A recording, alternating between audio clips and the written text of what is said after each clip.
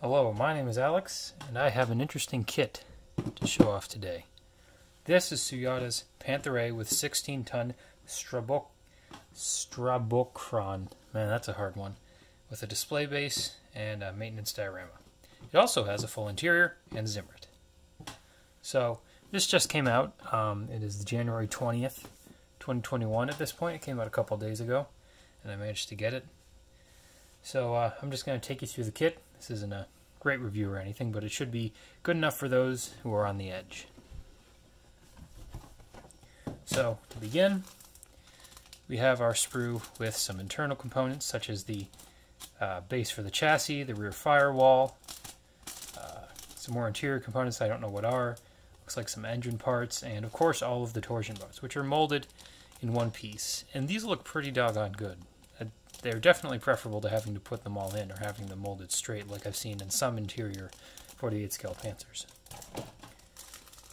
Now we move on to the turret sprue.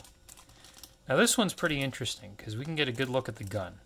So as you can see, what I believe to be is the the scope is already pre-molded and the machine gun barrel is also pre-molded. And this also has a very 135th style two-piece open muzzle brake. And here we have our MG, I believe would be a machine gun, uh, some other turret components, and, and we have a lot molded on here. There's a lot of cleverness done with this kit where interior details are molded in instead of being separate. And then this sprue is kind of miscellaneous. We have oil drums. The latter is shown in the box, various shells, couple of jerry cans, and what I believe, yeah, these are just more, these are the heads of the shells, which presumably plug in there, making the ammo sticking out, presumably. Now this sprue is some more interior parts. We have uh, parts of the drivetrains, some coolers. These are really detailed. Don't know if I can get it to focus. There we go. Uh, the turret floor, some more transmission parts, all sorts of goodness. And we have some slide molding here, sign of goodness, greatness. Hello. we have yet another sprue. This one appears to be the engine, and it is, boy, is it detailed. That's just, this is some real lovely molding right here. More shells. Just let it focus in on that.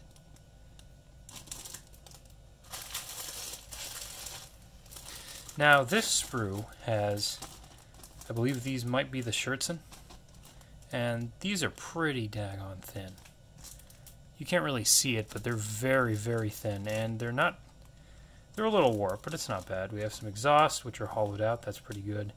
Another ladder, this is the figure, the maintenance figure that comes with it. There's him, there's his head. I believe more of his head and his arms. That looks pretty nice. Can't wait to paint that up. Some logs, uh, Hull MG. Uh, there's the there's the jack. Now this sprue, any of the gray sprues are strato, are are stratobo, yeah, parts. So as you can see here, just some miscellaneous pieces. I don't even know what these are. Big hook. This is going to be quite interesting to put together. Now we have some love, really good link and link. These are just super detailed. They're all on the on the bendy side, but that'll probably be correct. If, but if you get in real close, that is just gorgeous looking. Uh, only couple injector pin marks, presumably like Tamiya, they're located in good spots. This is very Tamiya-esque, but in a good way, in a modern way. I believe that's some spare tracks. We have these wheels. These look pretty good.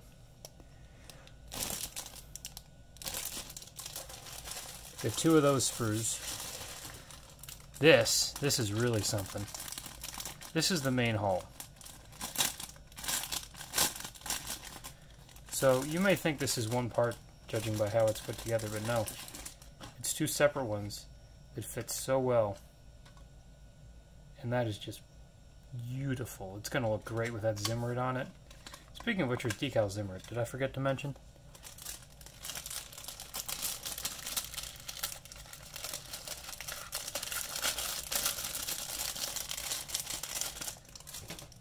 Then we have finally some of the bigger parts of the crane, some of the base components, some of the wheels.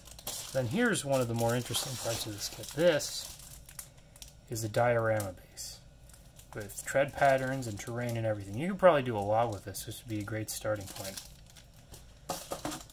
And then here is the goodie bag. So as you can see we have a really nice uh, Bit of photo etch, grills, of course, chains for the crane, even more grills, some other, some grab handles.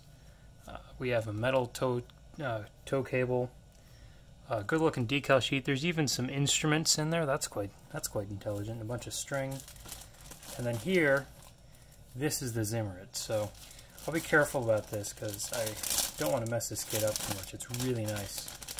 And it certainly wasn't, uh, yeah, Okay, so put that back in there. So this is the decal Zimmerit.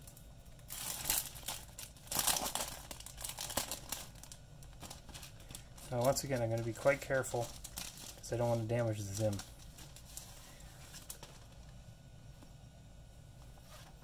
So as you can see, it may look uh, one-dimensional, but I assure you it is not.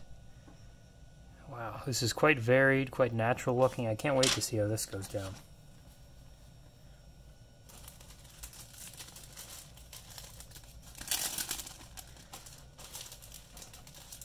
Just being ever so careful because this is a really nice kit.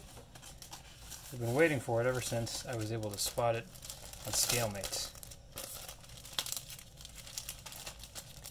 And if you're not familiar with ScaleMates, it's a place, great place to track down the lineage of any kit you're building or to find new ones or to learn anything about the about kits or ones that are being released, any number of things like that. Alright, now we finally get to the instructions.